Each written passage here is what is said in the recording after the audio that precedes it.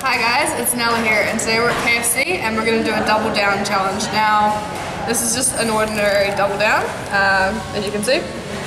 So I'm just going to try to do it as fast as possible. Okay. Three, three, two,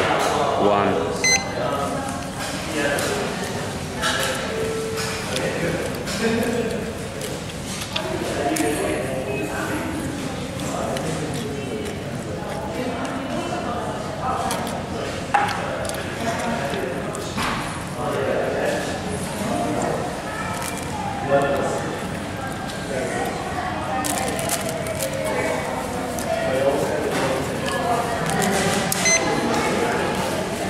Twenty-eight seconds.